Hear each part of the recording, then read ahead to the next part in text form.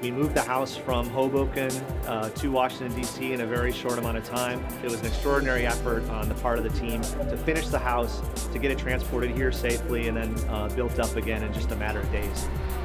Been very busy. Uh, it took us about a week and a half to take the house apart, and we're putting it back together. And uh, it's been a lot of like uh, ups and downs, but in the end, it looks like we're in really good shape. We are in Washington, D.C., and we have here the product of two institutions, three schools, and a local affiliate of uh, Habitat for Humanity who's a partner with us on this project. We really set out two years ago to make next generation's technologies readily available to this generation's needs. And this is a next generation house being handed off to Habitat for Humanity for today's problems. And I think that's what we're by far most excited about.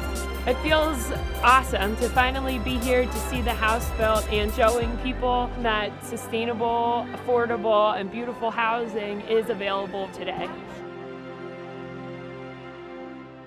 We've been working so hard over the summer, very concentrated, huge effort to get the house built.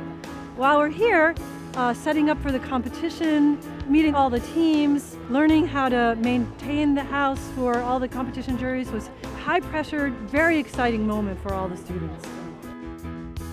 Our house was actually consuming less energy than the other houses on the mall. We were also producing less energy, but we were able to consume less energy and complete all the tasks that the DOE wanted us to complete. If I were to pick one outstanding moment, it's the moment in which you have the opportunity to open the house to the public. And they came in, and the students did a fabulous job of presenting not only what the house is, but actually how it's going to transform uh, the way in which we do housing in this country. I think people have taken great interest in this project because it's different than all the other entries. And it's different because this is a real house for a real family. And I think what we've done here is bring in a whole social element that has, I think, frankly, never existed in this competition. The fact that this house will be moved and lived in, that is something that's going to be remembered for as long as the house lives. We've won by passing this house on to a neighborhood, to a family, to a community. Today, the kids came into the house for the first time. Watching them absorb their new home has just been, it's just been fantastic. I got involved in this project through Habitat for Humanity. Well, I was the first time home buyer, and I was just like, wow, like this is gonna be my house. It's a nice size house for me and my family to grow in. And not only is it just a home, it's different, it's a passive house, and I'm still learning how everything works. When we come to looking at something like this, the students, the faculty, the staff of these institutions have made an unbelievable difference. The fact that we're able to partner means that we're able to not only see the stars, we're able to reach for the stars.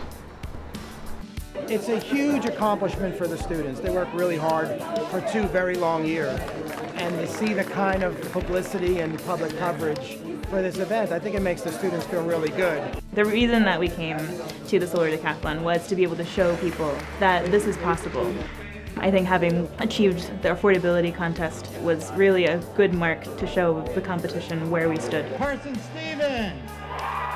It was a spectacular win. To have that be the first competition, to win that and win it by a long margin was what we set out to do and we achieved. I've learned a lot through this through this project and worked with some really great people and I feel like this has given me the opportunity to actually put into practice some of the things I've been learning over the last few years of school and several years of my life. I would do the Solar Decathlon again in heartbeat. It's been the best educational experience of my life, best, best practical experience. Today, the children who were living in the house came by and it really came full circle. Aside from all the math I did, from all the planning, the late nights I did, the, like it all just came together. It was just completely, utterly like heartwarming.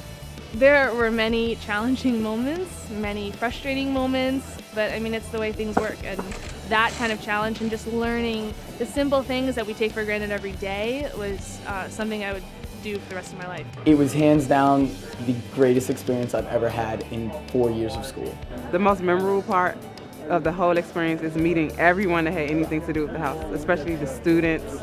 I would just want to say thank you all for everything, and I don't think I can say thank you enough.